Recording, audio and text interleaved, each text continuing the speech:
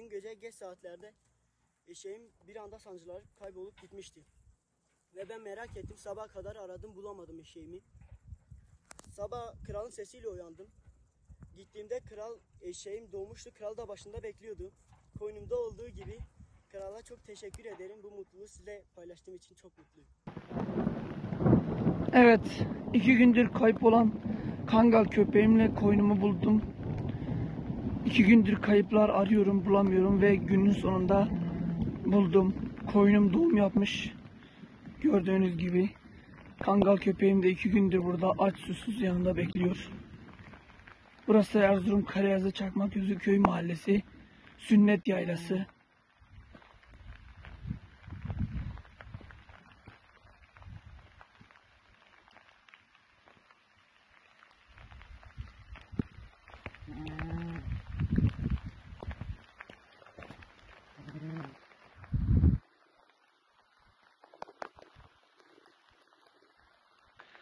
Evet, iki gündür kayıp olan koyunum ve köpeğimi bulduk sonunda.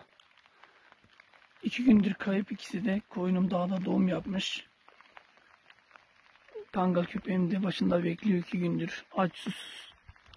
Nasıl bitkin düştüğünü görüyorsunuz. Koyun doğum yapmış. O an bir şekil gözümden kaçmış.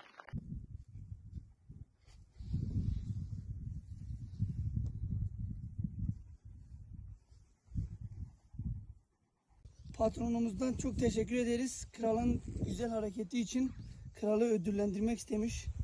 Krala afiyet olsun.